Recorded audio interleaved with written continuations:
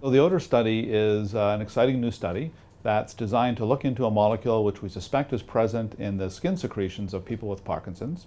It could be something we can use to detect Parkinson's earlier, perhaps even uh, eventually evolve into a definitive test for Parkinson's. Uh, it also could tell us something about the biochemistry of people with Parkinson's, what's different, and maybe even a clue to, to fundamental causes and new treatments. But that's further down the road. This is a really great example of how combining people with Parkinson's and researchers can lead to new ideas for scientific studies. So in this case, one of our researchers became aware of a report of a woman whose spouse had Parkinson's. She, had a, she has an especially keen sense of smell and she noticed a characteristic odor that both her husband and other people with Parkinson's had.